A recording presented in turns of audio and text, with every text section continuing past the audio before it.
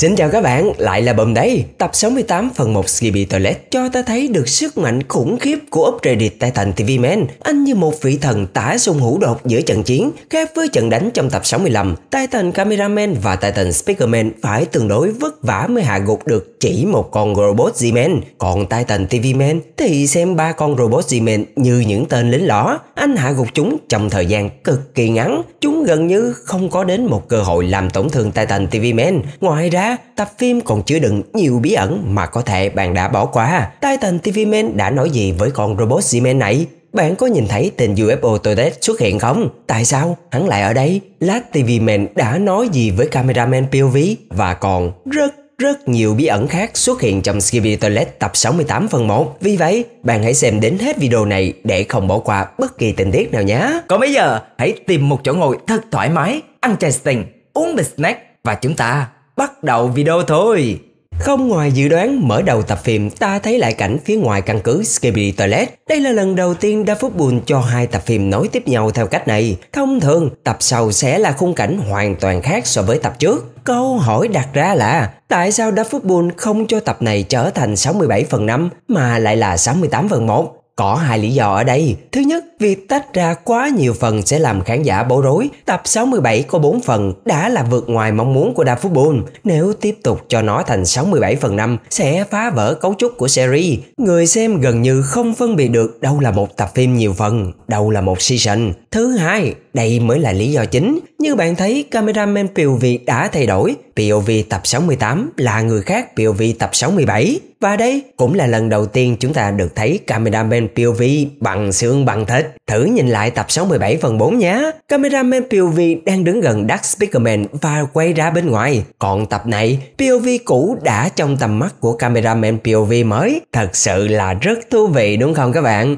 David Bull đã đầu tư nhiều hơn vào các chi tiết nhỏ. Mọi thứ càng ngày càng hợp lý hơn. Khi cameraman POV quay về bên trái, ta thấy tên robot Siemens Rocket đang bắn hàng loạt tên lửa về trước. Tuy nhiên, Titan TV Man dễ dàng đỡ được toàn bộ. Wow, thanh kiếm này không chỉ có khả năng tấn công mà còn là thứ để phòng thủ. Nó có thể đỡ đòn không thua gì khi năng lượng của Titan Cameraman. Titan TV Man tiếp tục vung một chém về trước, làm văng một quả tên lửa về phía Z-Man, khiến hắn bị mất một khẩu súng tên lửa phía bên phải. Sau đó là một laser cực mạnh về trước. Thì ra, lõi năng lượng của Titan TV Man rất đặc biệt. Anh có thể sử dụng nó để thay thế cho súng. Nó có thể bắn ra từng viên đạn y như Titan Speakerman và Titan Cameraman. Tuy nhiên, sức công phá của nó thì lớn hơn nhiều. Chưa hết đâu, hãy nhìn vào đoạn này. Khi robot Z-Man sở hữu 11 laser bắn vào người Titan TV Man, một hiện tượng cực kỳ lạ đã diễn ra. Titan TV Man không những không bị tổn thương mà còn trở nên mạnh mẽ hơn.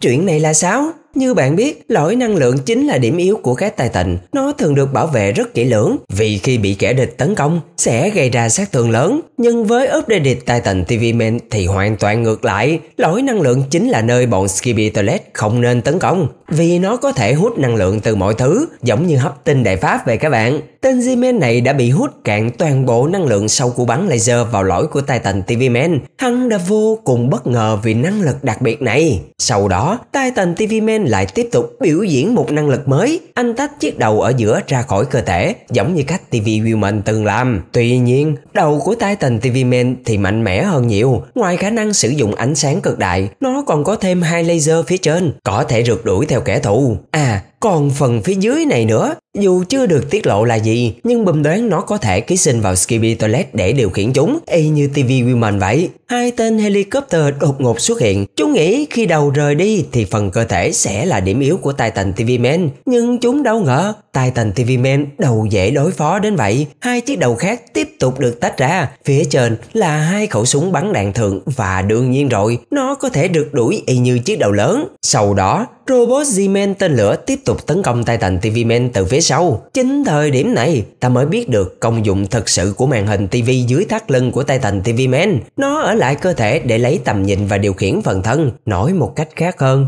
chiếc màn hình nhỏ nhất lại có chức năng bá đạo nhất. Titan TV Man giờ đây trở thành bốn con người riêng biệt. Ba chiếc đầu này sử dụng trí tuệ nhân tạo để điều khiển. Nó có suy nghĩ riêng, ý thức riêng, có thể tùy nghi sử dụng tuyệt kỹ theo mong muốn của mình. Còn chiếc đầu nhỏ cuối cùng này mới chính là ý thức thật sự của Titan TV Man nó điều khiển phần cơ thể còn lại và bầm nghĩ đây mới là điểm yếu của Titan TV Man. Tên robot G-Man dường như đã nhận ra điều đó, nên hắn mới tập trung bắn tên lửa vào chiếc TV nhỏ. Titan TV Man không thể để chuyện này tiếp diễn. Anh nhảy bổ về trước để tấn công. Cảnh quay này lại một lần nữa cho thấy sức mạnh của thanh kiếm. Nó chỉ cần chạm nhẹ vào đối thủ đã có thể tạo ra một vụ nổ cực kỳ lớn. Khi cameraman POV quay qua trái, một hiện tượng lạ xuất hiện. Ba chiếc đầu của Titan TV Man phát ra ba thứ ánh sáng khác nhau. Bùm muốn nhấn mạnh một lần nữa, không phải là hai mà là ba màu, gồm có đỏ, cam và xanh. Vậy ba màu này thể hiện những kỹ năng gì?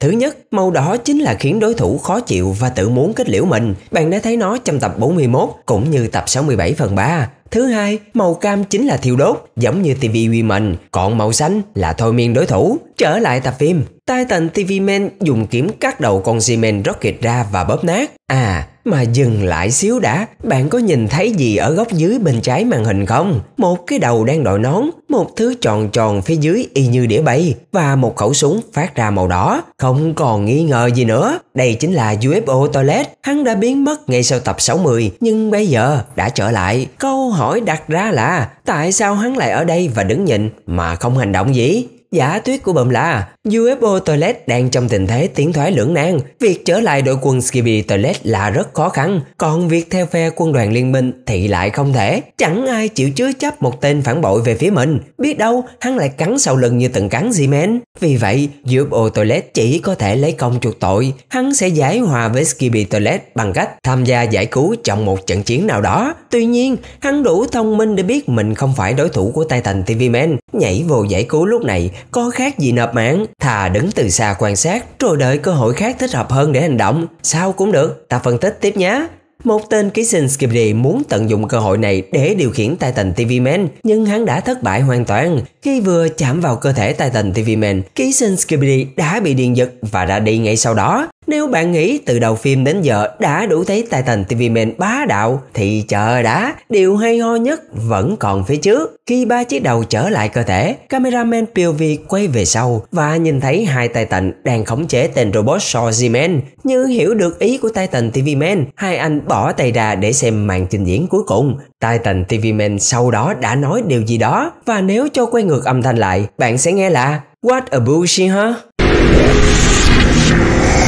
Ý nghĩa của nó là gì thì bùm để dòng chữ này trên màn hình cho bạn tự dịch nhé. Titan TV Man cho lỗi năng lượng xoay tròn và một làn khói đen đột ngột xuất hiện bên tay phải. Thì ra, Titan TV Man còn có thể dịch chuyển tức thời riêng từng bộ phận cơ thể để tấn công. Anh điều khiển thanh kiếm chém vào hai bên tên robot Siemens trong sự ngỡ ngàng của mọi người. Cả Titan Speakerman và Titan Cameraman cũng bất ngờ vì năng lực đặc biệt này. Sao bá đạo quá vậy? Sau đó là một kiếm giữa đầu đánh dấu sự kết thúc của robot Siemens. Titan Cameraman giơ ngón tay cái lên, còn Titan Speakerman thì vỗ tay khen thưởng. Đây là lần đầu tiên Titan Speakerman làm việc này. Anh chưa bao giờ chủ động thể hiện bất kỳ cảm xúc nào. Kể cả khi cứu được tập Speaker thì cái bắt tay này cũng là do Titan Cameraman giờ ra trước khiến anh làm theo. Lần này thì khác, anh vỗ tay như vừa chúc mừng niềm vui chiến thắng, vừa nghĩ thầm